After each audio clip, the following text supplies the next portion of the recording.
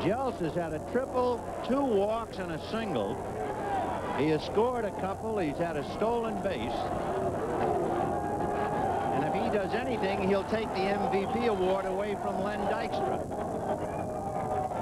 Ground ball up the middle, and he's the MVP as Mike Schmidt scored on the walk. Glenn Wilson scores on the hit, and the Phillies get two in the 14th inning and win a rather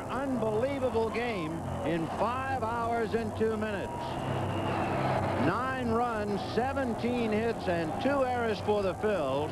Eight runs, 19 hits, and one error for the Mets. Can you believe it? I can believe it. The only thing I can add to all that's happened is that this game should have been played April 1st because it really was April Fool's, but it was exciting to watch all the base on balls. We've had everything in this game.